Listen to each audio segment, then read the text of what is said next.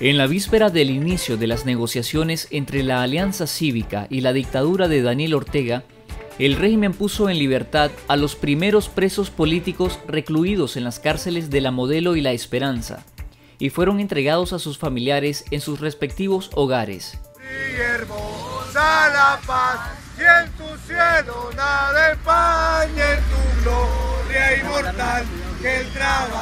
Es tu digno laurel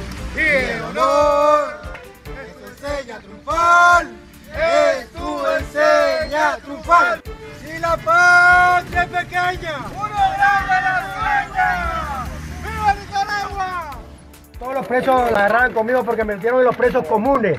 Ahí los mandé en el aire los zancudos y se llama Todd Mobile Elefante City, porque solo elefante hay. Y lo iba explicando a uno. Dice que ya estoy libre y miren que no me dejan hablar siquiera. Y dice que ya estoy libre. ¿Cómo es eso que estoy libre? De ahí me puede entregar mi, papel. Yo no andaba haciendo ningún delito. No he cometido ningún delito. No es una declaración de libertad completa. Según el Ministerio de Gobernación, la dictadura puso en libertad a 100 reos políticos.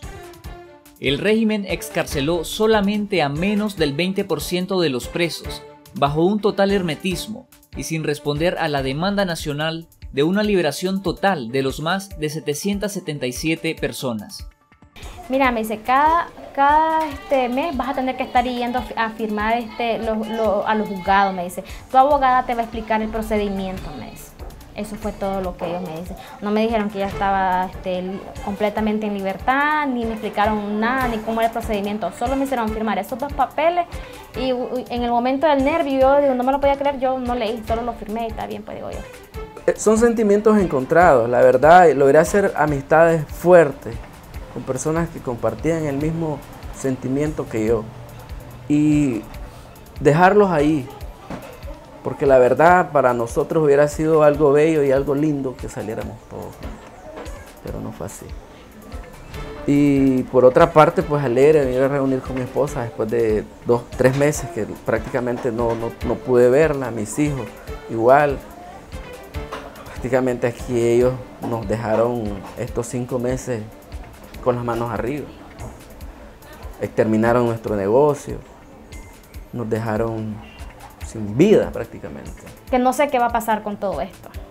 ¿Qué va a pasar con esta libertad que nos están dando aquí? Porque no es una libertad que nos ya estamos libres, ya completa. No, no, no, no sé ni cómo explicar. Esta mañana comenzó la negociación entre la Alianza Cívica y el régimen de Ortega que busca una salida pacífica a la crisis política. El encuentro realizado en el campus del INCAE en Managua finalizó a las 5 de la tarde con un comunicado escueto que no revela los resultados de la primera sesión. Según el breve informe leído por el nuncio apostólico Waldemar Sommertan, las partes acordaron 9 de 12 puntos para definir la agenda de la negociación, pero no dijeron cuáles son esos temas, tampoco quiénes serían los mediadores y si habrán garantes internacionales para el desarrollo de las negociaciones. En esta primera sesión se trabajó en la aprobación de la hoja de ruta que constituye la normativa del funcionamiento de la negociación. De la propuesta inicial de 12 puntos, se lograron la aprobación de 9. Y mientras las negociaciones entre la Alianza Cívica y la dictadura apenas se encuentran en una etapa de prediálogo sobre las reglas del juego, los mediadores y los garantes, la Asamblea Nacional controlada por el orteguismo aprobó el paquetazo fiscal, una reforma que busca recaudar 300 millones de dólares y que ha sido catalogada por el sector empresarial como una medida confiscatoria. La reforma a la ley de concertación tributaria contempla el incremento de los impuestos sobre la renta, el impuesto de las exportaciones, eleva el impuesto selectivo del consumo y afectará el 70% de la canasta básica. Los expertos han advertido que la medida fiscal de la dictadura, lejos de recaudar la meta prevista, producirá más desempleo, el incremento de la economía informal y el incremento de la pobreza y la miseria para el país. La abogada Yunarki Martínez denunció hoy que han abierto un proceso judicial en su contra por defender a los reos políticos de la dictadura. Martínez se presentó hoy en el Juzgado Sexto Distrito Penal de Audiencia de Managua.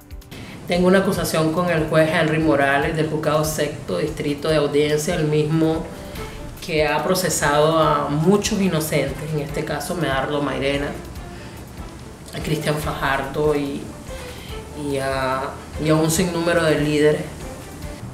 Si en este momento he defendido con, con mucha valentía a un sinnúmero de privados de libertad y siempre que lleguen a sala les doy ánimo.